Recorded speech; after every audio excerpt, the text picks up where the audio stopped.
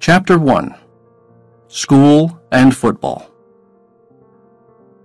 I was born an idiot, but I'm cleverer than people think. I can think things okay, but when I have to say them or write them down, sometimes they come out all wrong. When I was born, my mom named me Forrest.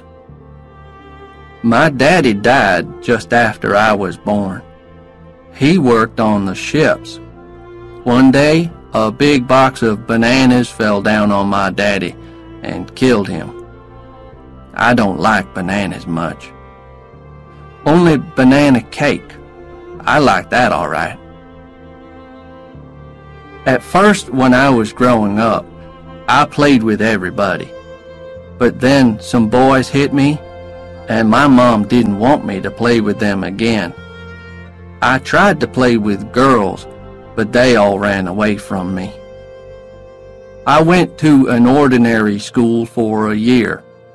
Then the children started laughing and running away from me. But one girl, Jenny Curran, didn't run away. And sometimes she walked home with me. She was nice. Then they put me into another kind of school. And there were some strange boys there. Some couldn't eat or go to the toilet without help. I stayed in that school for five or six years. But when I was 13, I grew six inches in six months. And by the time I was 16, I was bigger and heavier than all the other boys in the school. One day I was walking home and a car stopped next to me. The driver asked me my name and I told him. What school do you go to? he asked. I told him about the idiot school.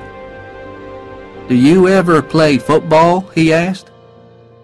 No, I told him. I see other people playing, but I don't play and they never asked me to play with them. Okay, the man said. Three days later, the man in the car came and got me out of school. Mom was there, and they got all the things out of my desk and put them in a brown paper bag. Then they told me to say goodbye to the teacher.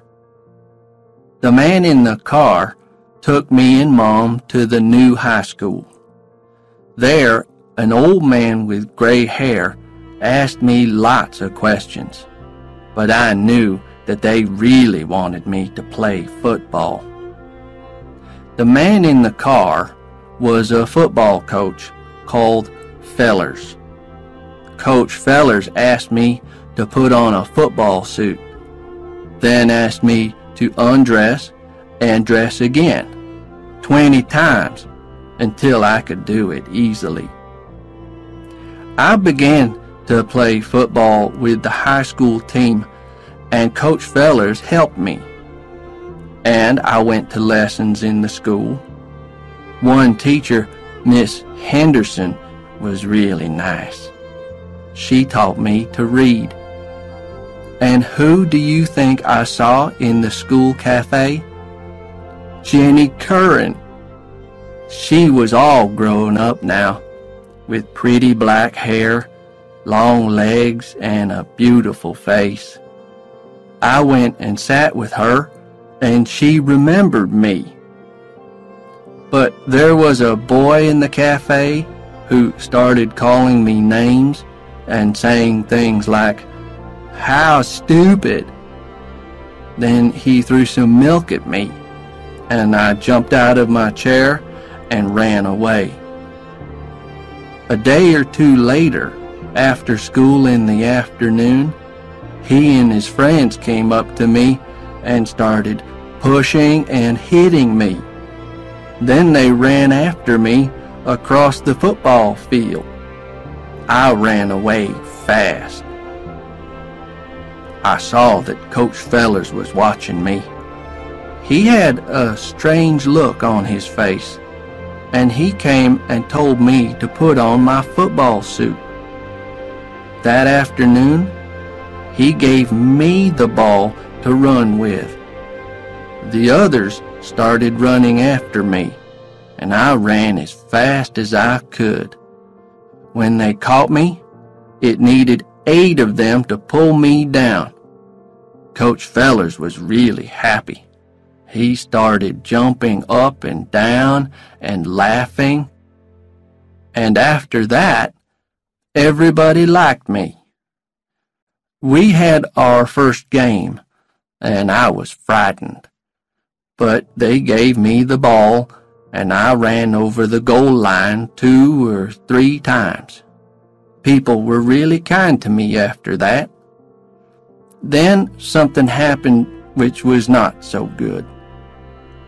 I want to take Jenny Curran to the cinema, I told Mom one day. So she phoned Jenny's mom and explained. Next evening, Jenny arrived at our house wearing a white dress and with a pink flower in her hair. She was the prettiest thing that I ever saw. The cinema was not far from our house, Jenny got the tickets and we went inside. The film was about a man and a woman, Bonnie and Clyde, and there was a lot of shooting and killing. Well, I laughed a lot, but when I did this, people looked at me, and Jenny got down lower and lower in her place. Once I thought she was on the floor, and I put my hand on her shoulder to pull her up. But I pulled her dress, and it came open, and she screamed. I tried to put my hands in front of her because there were people looking at us. Then two men came and took me to an office. A few minutes later, four policemen arrived and took me to the police station. Mom came to the police station.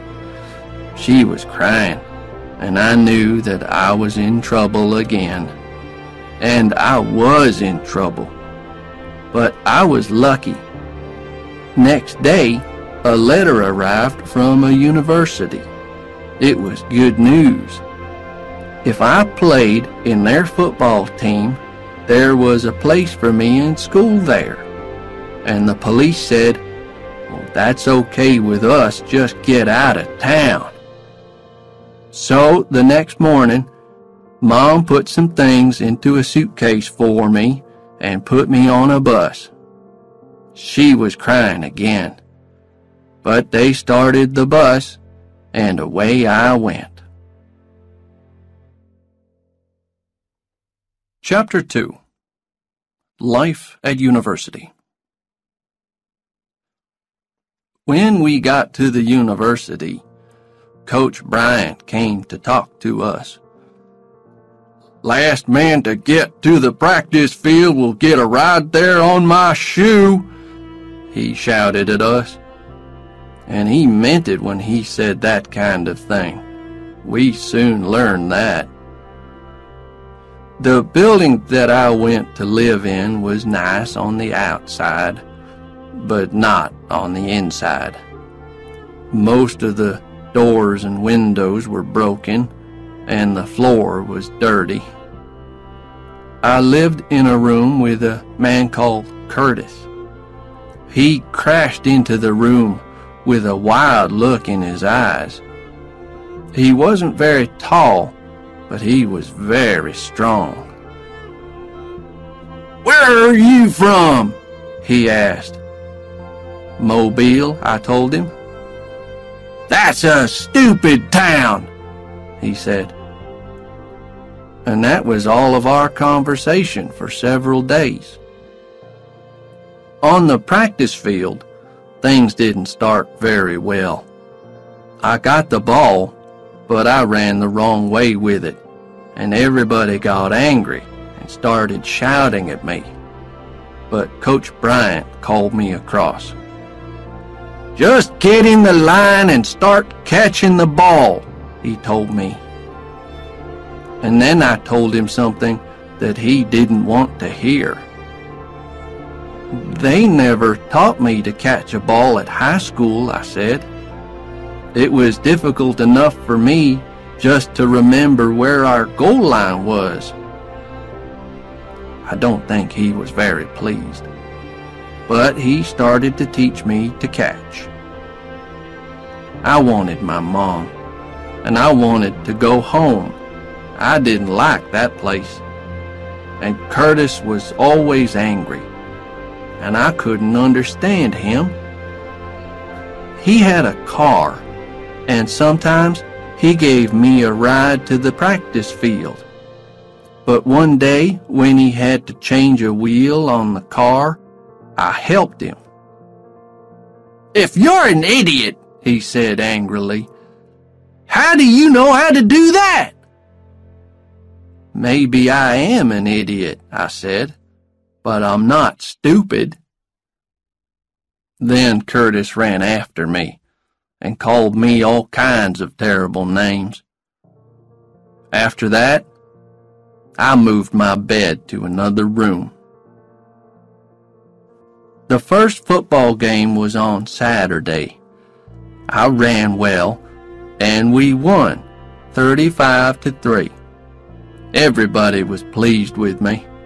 I phoned Mom to tell her. I heard the game on the radio, she said. I was so happy, I wanted to cry. That night, everybody went to parties, but nobody asked me to go.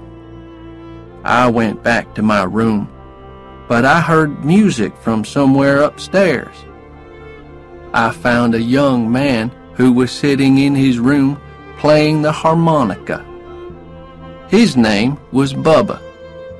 He broke his foot in football practice and couldn't play in the game.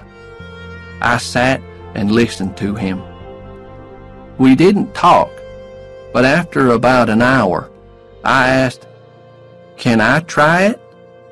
And he said, Okay, and gave me the harmonica. I began to play. After several minutes, Bubba was getting really excited and saying, Good, good, good. Then he asked, where did you learn to play like that? I didn't learn anywhere, I said. When it got late, he told me to take the harmonica with me, and I played it for a long time in my room. Next day, I took it back to Bubba. Keep it, he said. I've got another one. I was really happy and I went and sat under a tree and played all day. It was late afternoon when I began to walk back to my room. Suddenly, I heard a voice shout, Forrest! I turned round and saw Jenny. She had a big smile on her face, and she held my hand. I saw you play football yesterday, she said. You were wonderful. She wasn't angry about the cinema, and she asked me to have a drink with her. I'm taking lessons in music, and I want to be a singer, she told me. I play in a little group. We're playing at the Student Center tomorrow night. Why don't you come and listen? Okay, I said. Chapter 3 The Big Game On Friday night, I went to the Student Center. There were a lot of people there, and Jenny was wearing a long dress and singing. Three or four other people were in the group with her, and they made a good sound. Jenny saw me and smiled, and I sat on the floor and listened. It was wonderful.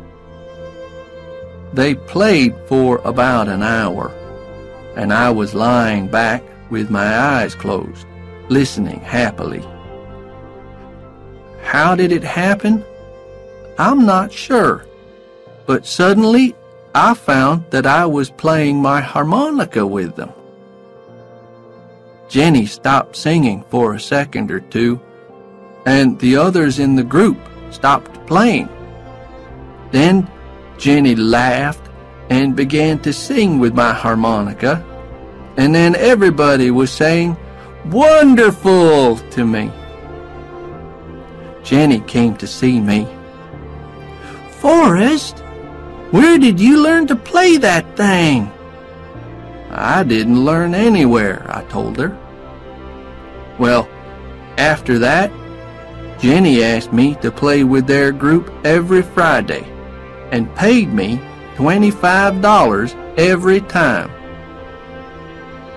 The only other important thing that happened to me at the university was the big game at the Orange Bowl in Miami that year. It was an important game which Coach Bryant wanted us to win. The game started and the ball came to me. I took it and ran straight into a group of big men on the other team. Crash! It was like that all afternoon. When they were winning 28 to 7, Coach Bryant called me across. Forrest, he said, all year we have secretly taught you to catch the ball and run with it. Now you're gonna run like a wild animal, okay? Okay, coach, I said. And I did. Everybody was surprised to see that I could catch the ball. Suddenly, it was 28 to 14. And after I caught it four or five more times, it was 28 to 21. Then the other team got two men to run after me. But that meant Gwyn was free to catch the ball, and he put us on the 15 yard line. Then Weasel, the kicker, got a field goal, and it was 28 to 24. But then things began to go wrong again. Weasel made a bad mistake, and then the game finished, and we were the losers. Coach Bryant wasn't very happy. Well, boys, he said, there's always next year. But not for me. I soon learned that. I couldn't stay at the university. I wasn't clever enough at the lessons, and there was nothing that anybody could do about it. Coach Bryant was very sad. I knew this would happen, Forrest, he said. But I said to them, just give me that boy in my team for a year. And they did. And we had a good year. The best year, Forrest. Good luck, boy. Bubba helped me to put my things in my suitcase. Then he walked to the bus with me to say goodbye. We went past the Student Center, but it wasn't Friday night, and Jenny's band wasn't playing. I didn't know where she was. It was late when the bus got to Mobile. Mom knew that I was coming, but she was crying when I got home. What's wrong? I asked. A letter came, she cried. You've got to go in the army.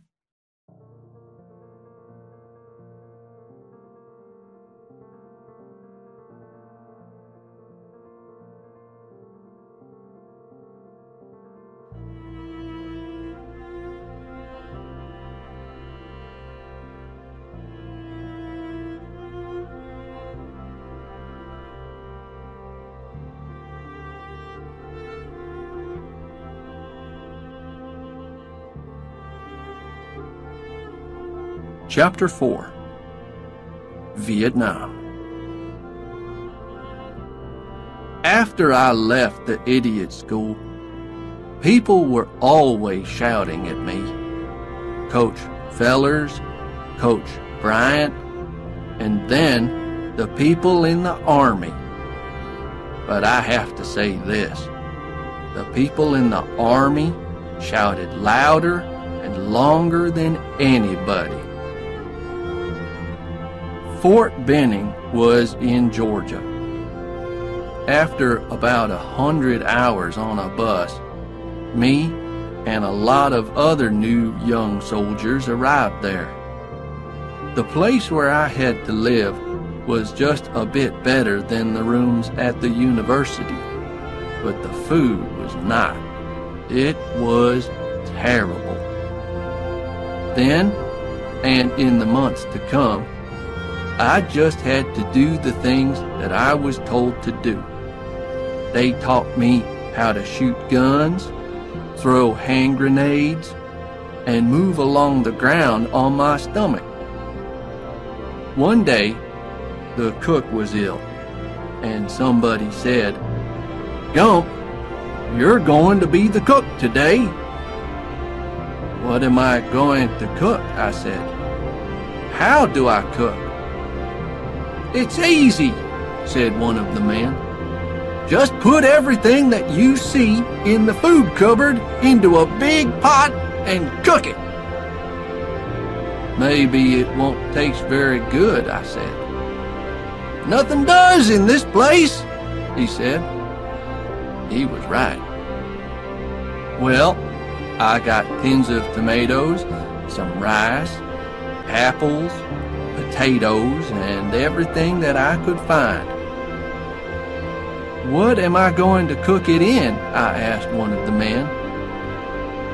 There are some pots in the cupboard, he said, but the pots were only small. You've got to find something, one of the other men said. What about this? I asked. There was a big metal thing about six feet tall and five feet round sitting in the corner. That's the boiler! You can't cook anything in that! Why not? I asked. It's hot, it's got water in it, but the men had other things to do. Do what you like, they said. So, I used the boiler. I put everything in it, and after about an hour, you could smell the cooking. It smelled okay. Then the men came back, and everybody was waiting for their dinner. Hurry up with that food, Gump!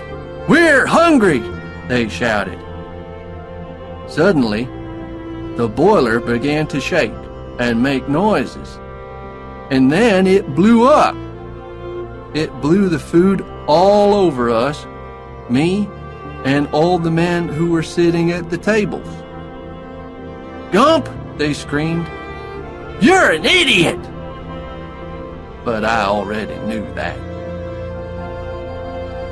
After a year, we went to Vietnam to fight in the war.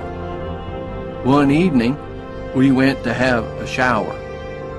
The showers were just a long hole in the ground for us to stand in, while somebody threw water over us. We were standing in it when suddenly there was a strange noise.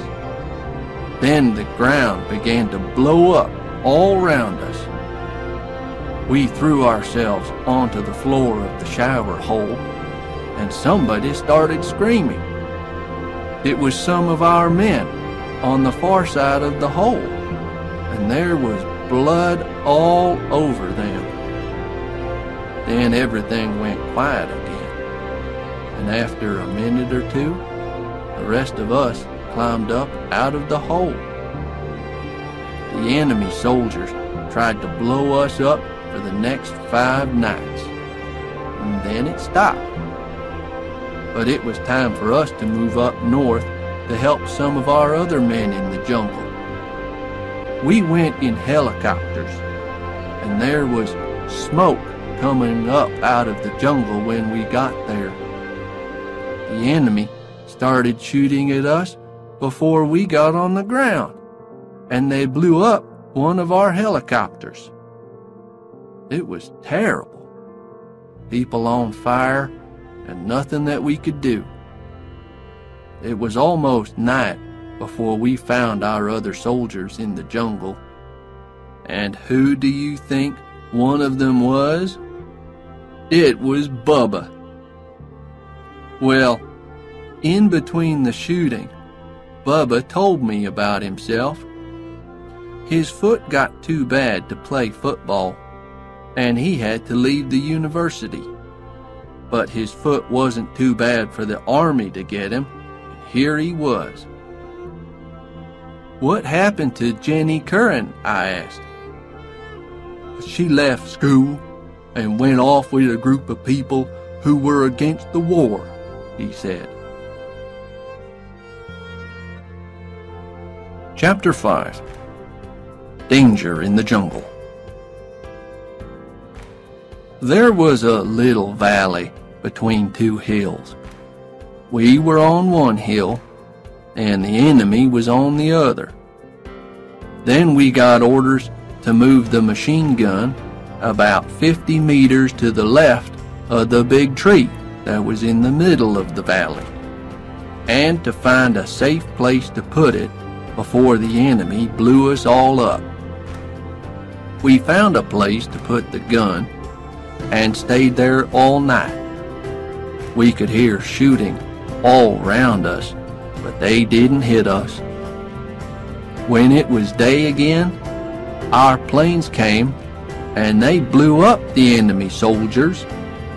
Then we watched while our men moved off the hill and came down into the valley. Suddenly, somebody started shooting at them. We couldn't see the enemy soldiers because the jungle was too thick, but somebody was shooting at our men.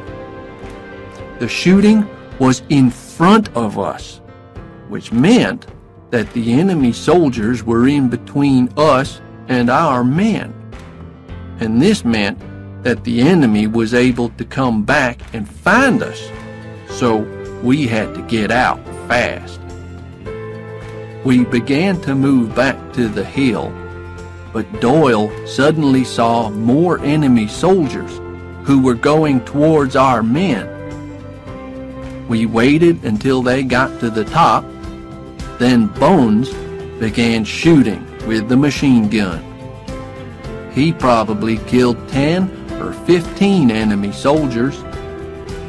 Doyle and I and the other two men threw grenades.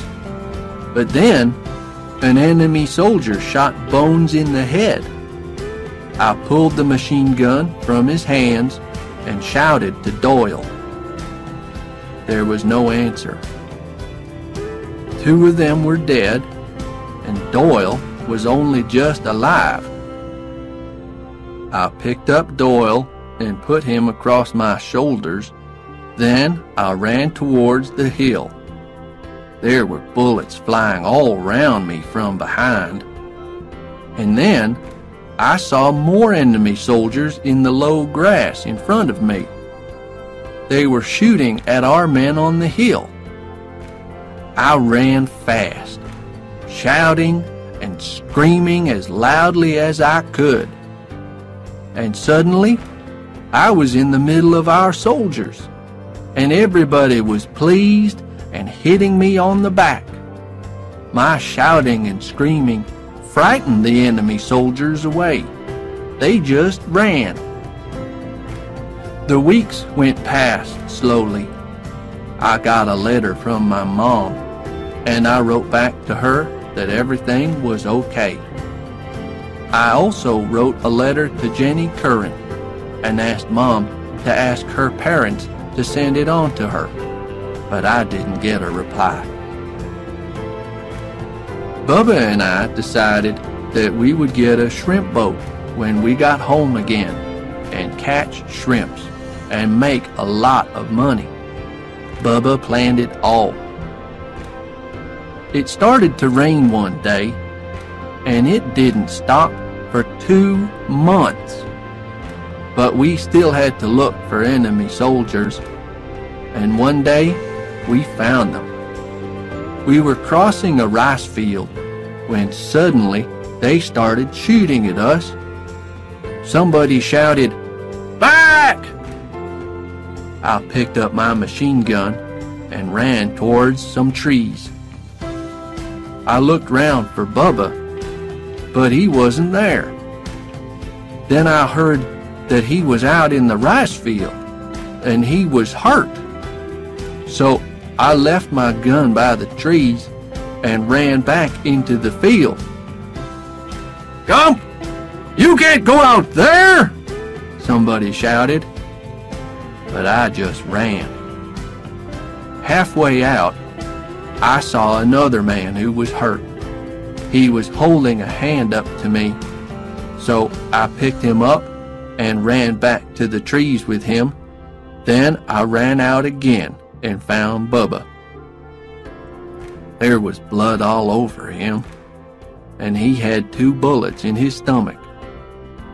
He looked up at me and said, Forrest, why did this happen? What could I say? Then he said, Play me a song on the harmonica, will you? There was still a lot of shooting going on, but I played a song. Then all the color went out of Bubba's face, and he said something very softly. Home. And then he died. And that's all I've got to say about that. The rest of the night was terrible. The worst night that I've ever known. Nobody could get any help to us, and the enemy soldiers were so near that we could hear them talking. Then, when it got light, an American plane came and used fire throwers on the enemy, and almost on us. Suddenly, the trees were on fire and men were running out of the jungle with burned skin and clothes. During all of this, somebody shot me in the back of the leg, but I can't remember when it happened. It didn't matter. Nothing mattered. Bubba was dead. The shrimp business idea was dead with him. I just wanted to die too. Then our helicopters came, and the enemy soldiers who were left ran away. An hour later, I was out of there and on my way to the hospital in Da Nang. Chapter 6 The White House I was at the hospital for two months. After the first few weeks, my leg was getting better. And one day, I went down into the little town, to the fish market. I bought some shrimps, and one of the cooks at the hospital cooked them for me. Two days later, I went back to the fish market and talked to a man who was selling shrimps. Where do you get them? I asked him. He immediately started talking fast in a language that I couldn't understand. But he took me somewhere, past all the boats and the beach. There, he took a net and put it in the water. When he took it out again, it was full of shrimps. Every day for the next few weeks, I went with Mr. Cheap, that was his name, and watched him while he worked.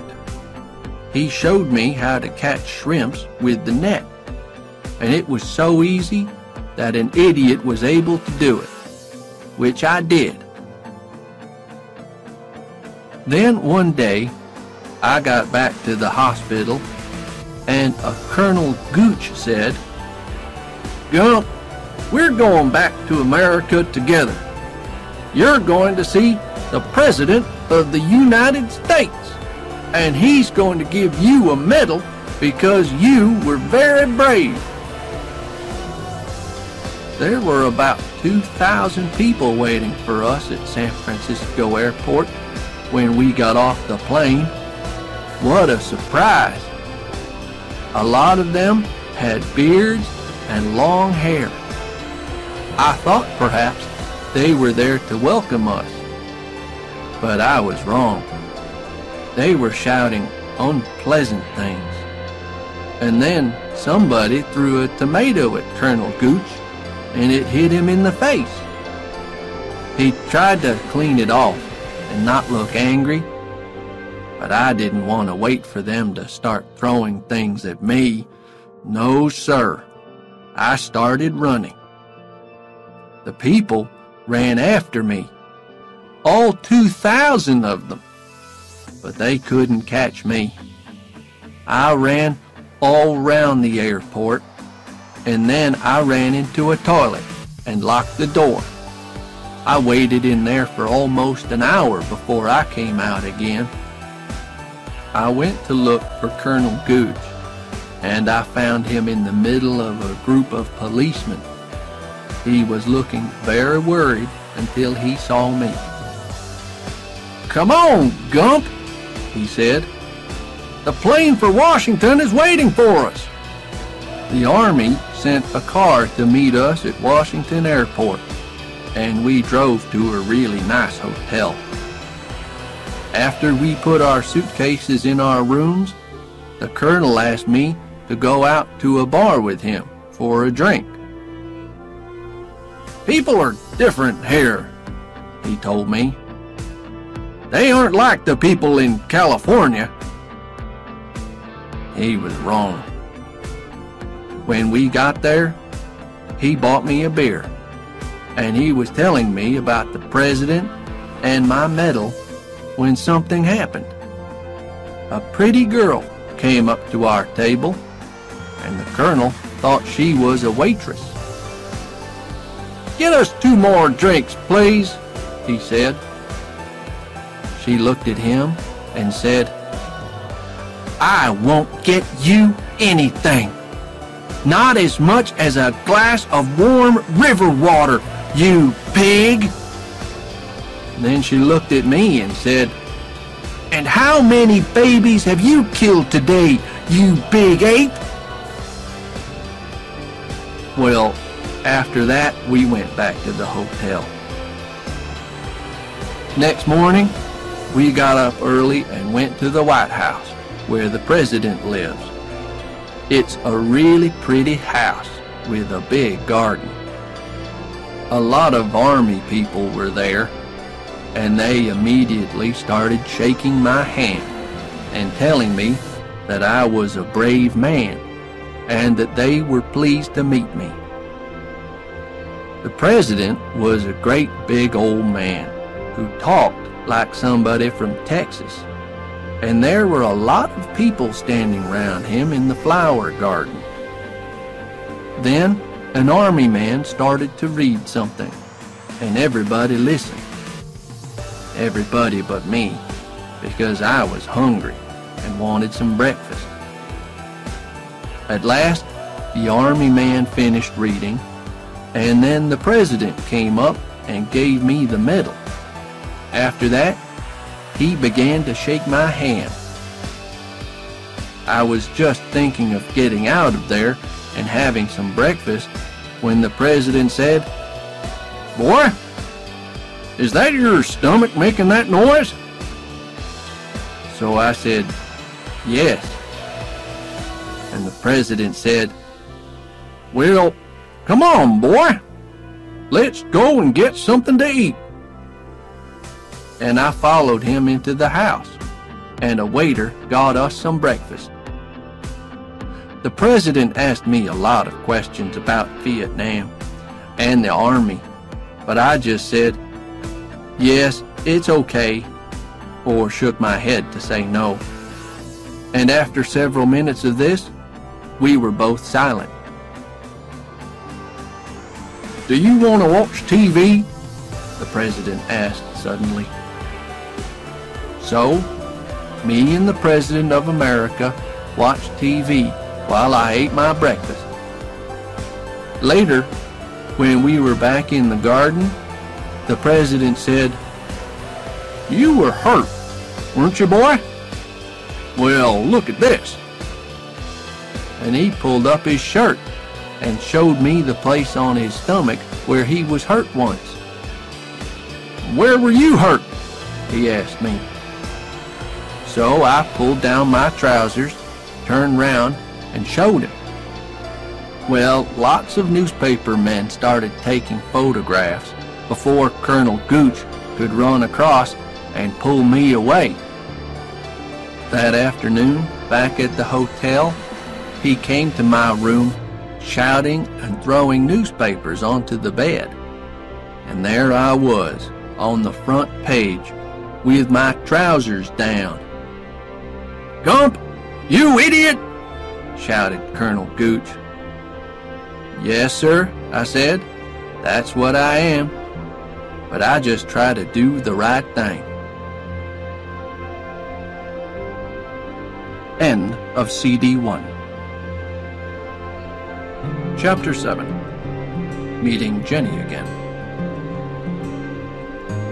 Soon after that, I heard that I was leaving the Army early, and they gave me some money for a train ticket to go home. But all this time, I was thinking about Jenny Curran. Just before I left the hospital in Da Nang, I had a letter from her she was now playing in a group called the Broken Eggs, and they played two nights each week at a place called the Ho Daddy Club near Harvard University. Now that I was free from the Army, I just wanted to go and see her. So I got a ticket for Boston instead of Mobile. I tried to walk to the Ho Daddy Club from the train station, but I lost my way. So I took a taxi. It was in the afternoon, and the man behind the bar said, Jenny'll be here about nine o'clock. Can I wait? I asked. Okay, he said. So I sat down and waited for five or six hours. Students began to come in, most of them wearing dirty jeans. The men had beards, and the women had long, untidy hair. Later, the group, the Broken Eggs, arrived, but I didn't see Jenny. Then they began to play, and they were loud. The music sounded like a plane that was taking off, but the students loved it. And then Jenny came on. She was different. Her hair was all the way down her back, and she was wearing sunglasses at night. She was wearing blue jeans and a shirt with lots of colors on it the group started playing again, and Jenny began to sing. Later, I went outside and walked around for about half an hour, then went back. There were a lot of people waiting to go in, so I went round to the back of the place and sat on the ground. I had my harmonica in my pocket, so I took it out and started to play. I could hear the music that was playing inside, and after a minute or two, I began playing with it. Suddenly, a door behind me opened, and there was Jenny. Who is that playing the harmonica? she said, and then she saw me. Forrest Gump! and she ran out of the door and threw her arms round me. We talked together until it was time for her to sing again.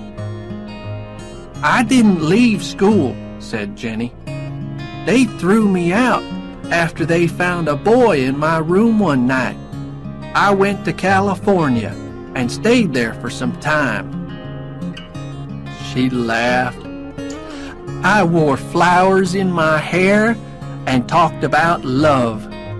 But the people that I was with were strange. Then I met a man and we came to Boston. But he was dangerous. He was against the war, like me, but he blew up buildings and things. I couldn't stay with him. Next, I met a teacher from Harvard University, but he was married. Then I began to sing with the broken eggs. Where do you live? I asked. With my boyfriend, she said. He's a student. You can come back and stay with us tonight. The boyfriend's name was Rudolph. He was a little man, and he was sitting on the floor with his eyes shut when we got to Jenny's flat. Rudolph, this is Forrest, Jenny said. He's a friend of mine from home, and he's going to stay with us for a few days. Rudolph didn't speak or open his eyes, but he put up his hand and smiled. Next morning, when I got up, Rudolph was still sitting on the floor with his eyes shut. That afternoon, Jenny took me to meet the other people in the group, and that night I began playing my harmonica with them at the Ho Daddy Club. It went well, and I played with them every night after that. Then one day, I came back to the flat, and Jenny was sitting on the floor. Where's Rudolph? I asked. Gone, she said. Walked out, like all the others. And then she started to cry. Don't cry, Jenny, I said, and I put my arm round her. Well, it started like that. But the next minute, we were kissing and making love. And when we finished, Jenny said, Forrest, where have you been all this time? Chapter 8 Into Space Spring and summer went by, and I continued to play my harmonica with the group. It was my happiest time of all. But, you've guessed it, something went wrong. How did it happen? I don't know. But one night I was sitting outside the Ho Daddy Club smoking a cigarette when a girl smiled and came up to me. She sat down across my legs and put her arms round me. She was laughing and kissing me, and I didn't know what to do. Suddenly, the door opened behind me, and there was Jenny. Forrest, it's time to... She stopped when she saw me with the girl. Then she said, Oh no, not you, too! I jumped up and pushed the girl away. Jenny, I said. Stay away from me, Forrest, she said. You men are all the same. Just stay away from me. She didn't speak to me again that night. And the next morning, she told me to find another place to live. I went to live with Moses, one of the other men in the group. And soon after that, Jenny went to Washington to talk and work against the war. Moses wrote down the address for me. So I went back to Washington too. There was a lot of trouble there, police were everywhere, and people were shouting and throwing things, and the police were taking some of them away. I went to find Jenny's address, but there was nobody at home. I waited outside for most of the day. Then, at about nine o'clock, a car stopped near the house and some people got out. And there she was. I started to walk towards her, but she turned and walked away. The other people, two men and a girl, didn't know what to say. What's wrong with her? I asked one of the two men. Uh, she just got out of prison, he said. She was there all night before we could get her out. Jenny was in the back of the car now, so I went over and talked to her through the window. I told her how I felt. I was sorry about the girl, and I didn't want to play in the group without her. She listened quietly, then opened the car door for me to get in, and we sat and talked. The others were talking about something that would happen the next day. Some American soldiers planned to take off their Vietnam medals and throw them away in front of the crowds of people. Suddenly, Jenny said, Did you know that Forrest won a medal? The others went quiet and looked at me, then looked at Jenny. Next morning, Jenny came into the living room. I was sleeping on the floor of their house.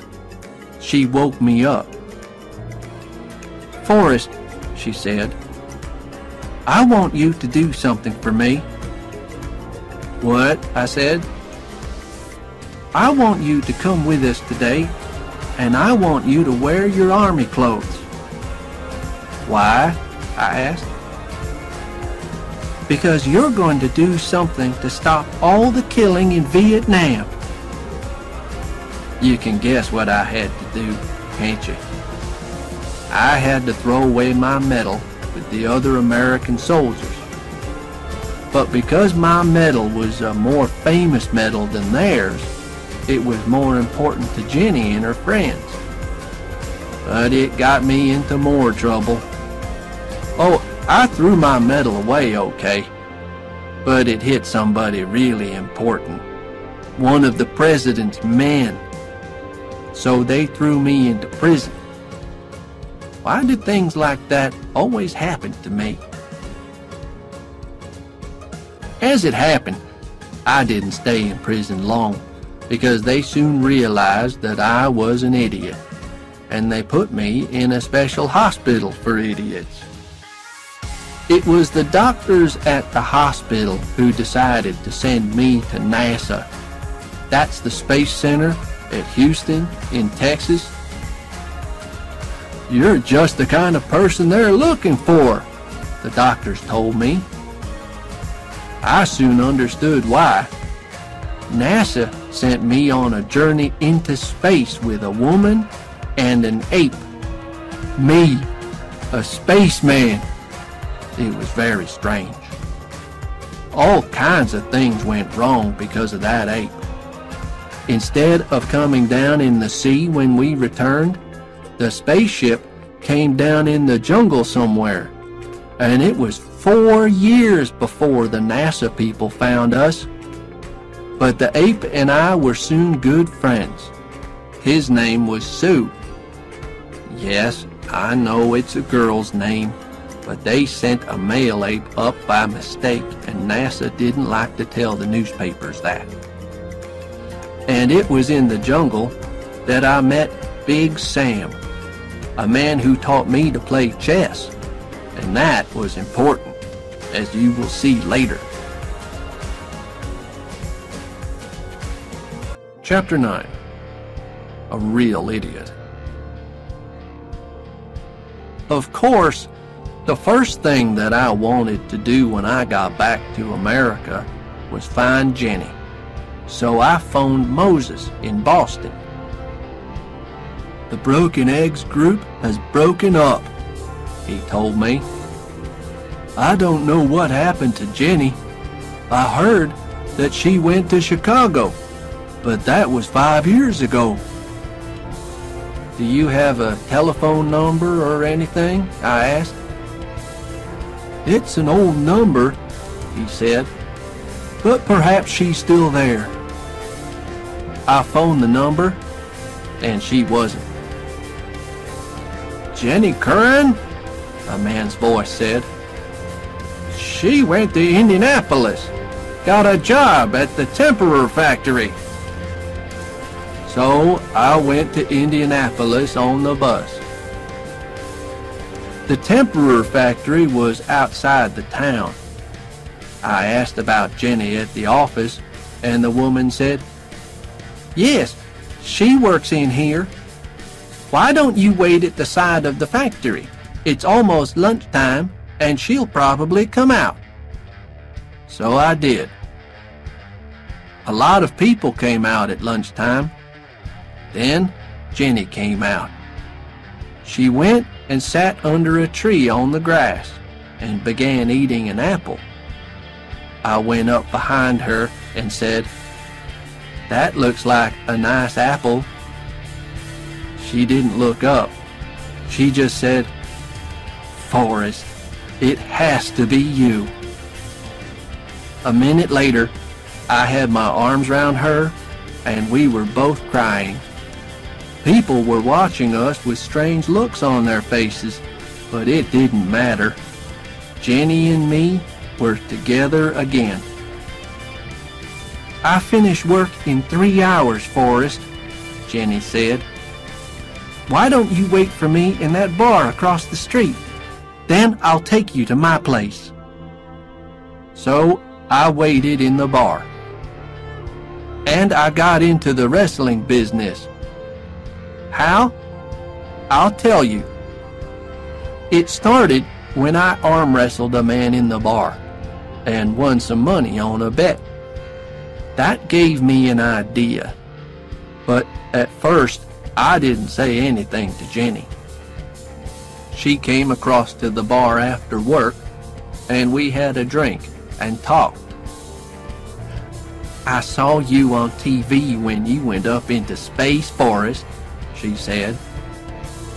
And I told her all about that, and about Sue, the ape. What happened to him? she asked. I don't know, I said, but he was a good friend. Later, we went back to Jenny's flat, and she said, You can stay here. Next day, when Jenny went to work, I went back to the bar. Several people wanted to try arm wrestling with me again, and I said, okay. None of them won because I was too strong, but plenty of people wanted to try their luck. After about a month, I was winning nearly $200 a week arm wrestling. Then one day, a man called Mike came into the bar. You can make a lot more money, he told me. How? I asked.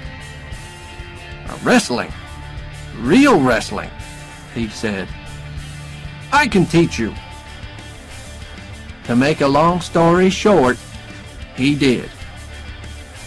Jenny wasn't happy about the wrestling, but I won a lot of money. Sometimes by winning fights, sometimes by losing them, because Mike told me to lose them. Yes, that happens too.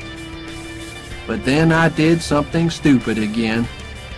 I bet on myself winning a fight after Mike told me to lose it. Jenny got really angry. It isn't honest, she said. I didn't listen. I bet all my money on myself to win, and then I lost the fight. But there was worse to come. When I got back to the flat, Jenny was gone. And there was a letter waiting for me. It said, Dear Forrest, You're doing something bad tonight. It isn't honest, and I cannot go on with you like this. I think about having a house and a family and things like that now. I watched you grow up big and strong and good. And then in Boston, I realized that I loved you and I was the happiest girl in the world. But then there was that girl outside the Ho Daddy Club. Then you went up into space and I lost you for four years. And I think you changed. And I think perhaps I changed too. I just want to live in an ordinary way now, so I must go and find it. I am crying while I write this, but please don't try to find me. Goodbye, my dear. Love, Jenny. And for the first time ever, I knew that I was a real idiot. Chapter 10 money for playing games. I decided to go home to Mobile, but the bus stopped at Nashville on the way, and I went into town for a drink and something to eat. I was going past a hotel when I looked in the window and saw some people who were playing chess. Like I said before, Big Sam taught me how to play chess when I was in the jungle. Well, I went into the hotel to watch them, but it was a special chess tournament, and it cost $5 to watch. So I didn't go into the chess room. I was just walking out again when I saw a little old man who was playing chess with himself at a table near the door. I had another hour before I had to catch the bus again, so I went across and watched him. Then I said, if you make that move, you'll lose your queen. He didn't look up, but after a minute, he said, Perhaps you're right. It was time for me to get back to the bus station but when I started to leave, the old man said, Why don't you sit down and finish this game with me? I can't, I said. I have to catch a bus. So he waved at me with his hand, and I went back to the bus station. But I missed the bus that evening, and there wasn't another one until the next day. So I walked back to the hotel, and there was the little old man, still playing against himself. He looked up and saw me and told me to sit down. It took me an hour to win that chess game. Just who are you? he said after the game. Forrest Gump, I said. Where did you learn to play chess? he asked. In the jungle, I told him. He looked surprised. Aren't you in the tournament? he asked. No, I told him. I'm going home, and I'm going to start a shrimp business. You can make a lot of money from chess, he said. You're very good. Am I? I said. The old man's name was Mr. Tribble. Two days later, we were on our way to Los Angeles to a big chess tournament. We were a day or two early for the tournament, and Mr. Tribble took me to see some people who were making a film. They make a lot of films in Los Angeles.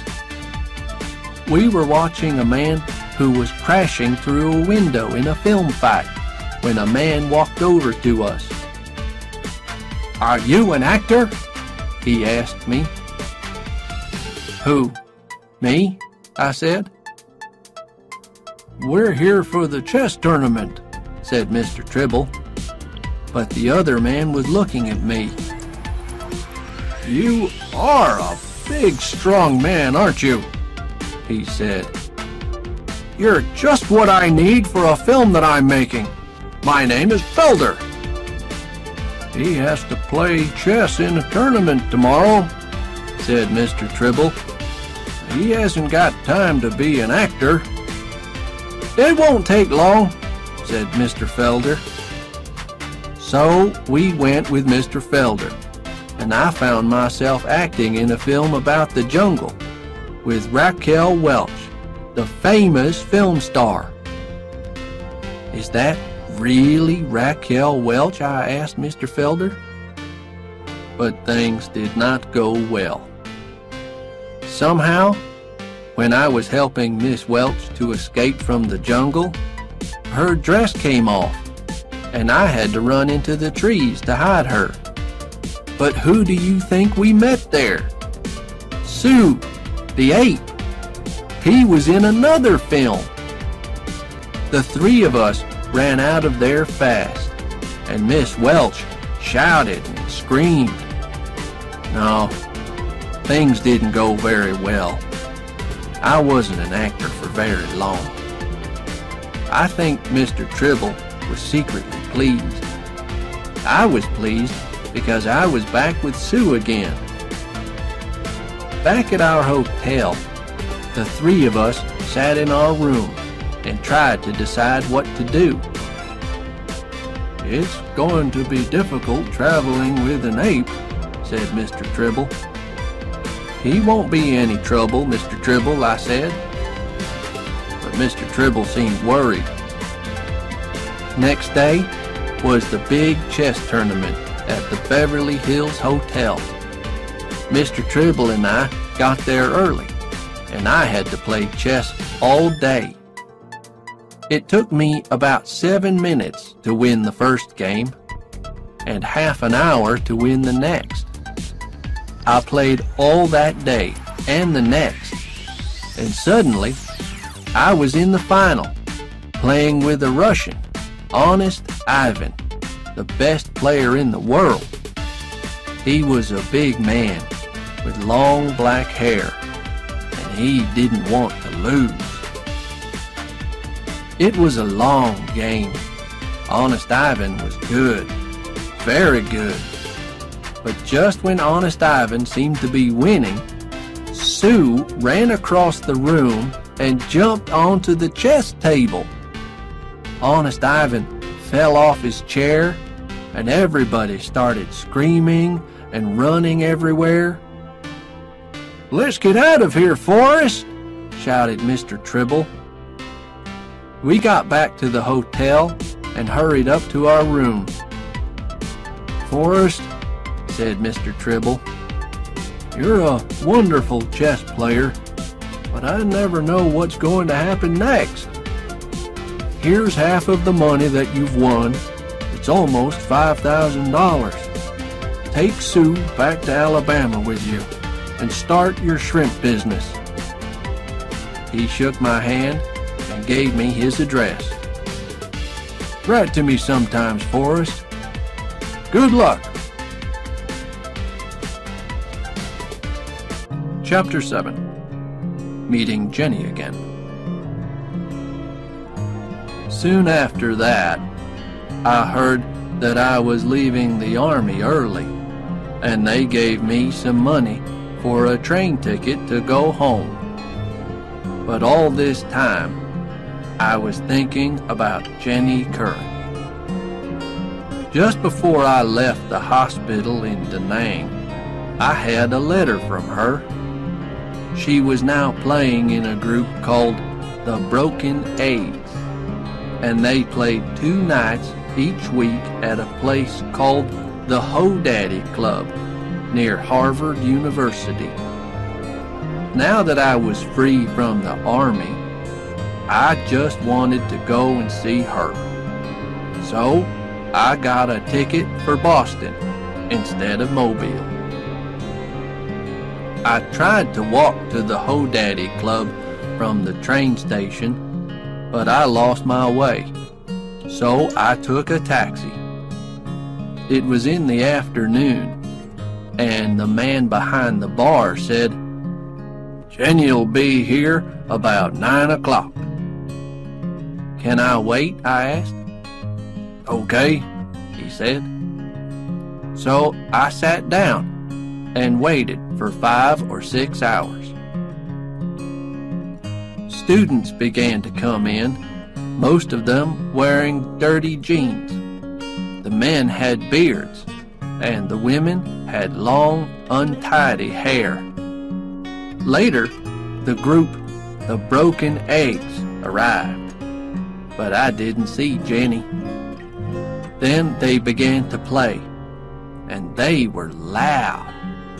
The music sounded like a plane that was taking off, but the students loved it.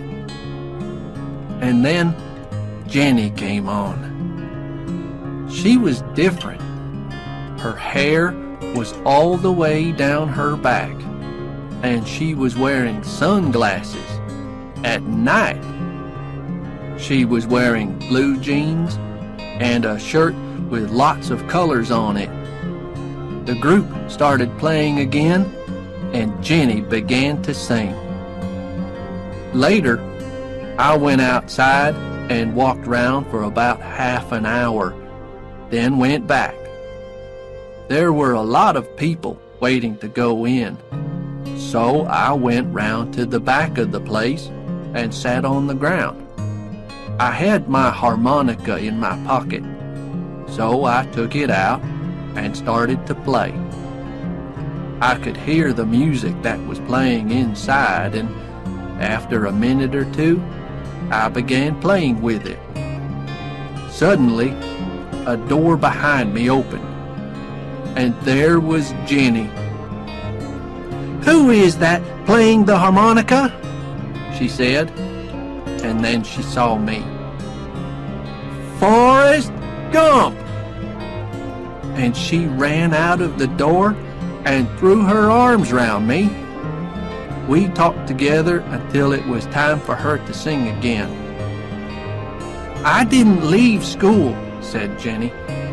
They threw me out after they found a boy in my room one night. I went to California and stayed there for some time. She laughed. I wore flowers in my hair and talked about love. But the people that I was with were strange. Then I met a man, and we came to Boston. But he was dangerous. He was against the war, like me, but he blew up buildings and things. I couldn't stay with him. Next, I met a teacher from Harvard University, but he was married. Then I began to sing with the broken eggs. Where do you live? I asked. With my boyfriend, she said. He's a student. You can come back and stay with us tonight. The boyfriend's name was Rudolph. He was a little man, and he was sitting on the floor with his eyes shut when we got to Jenny's flat. Rudolph, this is Forrest, Jenny said. He's a friend of mine from home, and he's going to stay with us for a few days. Rudolph didn't speak or open his eyes, but he put up his hand and smiled. Next morning, when I got up, Rudolph was still sitting on the floor with his eyes shut. That afternoon, Jenny took me to meet the other people in the group, and that night, I began playing my harmonica with them at the Ho Daddy Club. It went well, and I played with them every night after that. Then one day, I came back to the flat, and Jenny was sitting on the floor. Where's Rudolph? I asked. Gone, she said. Walked out, like all the others. And then she started to cry. Don't cry, Jenny, I said, and I put my arm round her. Well, it started like that. But the next minute, we were kissing and making love. And when we finished, Jenny said, Forrest, where have you been all this time? Chapter 12 Little Forrest Sue and I got off the bus at Savannah. Then I went and got a cup of coffee and sat outside the bus station. What could I do next? I didn't know. So after I finished my cup of coffee, I took out my harmonica and began to play. I played two songs, and a man walked past and threw some money into my empty coffee cup. I played two more songs, and soon the cup was half full of money. By the end of the next week, we were getting $10 a day. Then, one afternoon when I was playing to some people in the park, I noticed that a little boy was watching me carefully. Then I looked up and saw a woman who was standing near him. It was Jenny Curran. Her hair was different, and she looked a bit older and a bit tired, but it was her all right. And when I finished playing, she held the little boy's hand and came across. She was smiling. Oh, Forrest, I knew it was you when I heard that harmonica. Nobody plays the harmonica like you do. What are you doing here? I asked her. We live here now, she said. Donald works in a business here in Savannah. We came here about three years ago. When I stopped playing, the rest of the people walked away. Jenny sat next to me while the little boy started playing with Sue. Why are you playing your harmonica in the park? asked Jenny. Mom wrote and told me about your shrimp business and how rich you were. It's a long story, I said. Is that your little boy? Yes, she said. What do you call him? His name is Forrest, she said quietly. Then she went on. He's half yours. He's your son, Forrest. I looked at the boy, who was still playing with Sue. My son? I knew that a baby was on the way when I left Indianapolis, said Jenny. But I didn't want to say anything. I don't know why. I was worried that perhaps Perhaps he would be an idiot, I finished for her. Yes, but Forrest, he's not an idiot. He's really clever. Are you sure that he's mine? I asked. I'm sure, said Jenny. He wants to be a football player. I looked at the boy. Can I see him for a minute or two? Of course, said Jenny, and she called to him. Forrest, I want you to meet another Forrest. He's an old friend of mine. The boy came and sat down. What a funny animal you've got, he said. He's an ape, I said. His name is Sue. Why is it called Sue if it's a he? I knew then that I didn't have an idiot for a son. Your mom tells me that you want to be a football player. Yes, he said. Do you know anything about football? A bit, I said. But ask your daddy. He'll know more than me. He put his arms round me for a second, then went off to play with Sue again. Jenny looked at me. How long have we been friends, Forrest? Thirty years? Sometimes it doesn't seem true. She moved nearer and gave me a kiss. Idiots, said Jenny. Who isn't an idiot? Then she got up and held little Forrest's hand, and they walked away. Well, after that, I did a few things. First, I phoned Mr. Tribble and told him to give some of my money from the shrimp business to my mom and some to Bubba's daddy. Then send the rest to Jenny and little Forrest, I said. That night, I sat up thinking. Perhaps I can put things right with Jenny, I thought, now that I've found her again. But the more I thought about it, the more I finally understood that it was better for the boy to be with Jenny and her husband and not to have an idiot for a father. An idiot? Yes, I'm an idiot. But most of the time, I just try to do the right thing.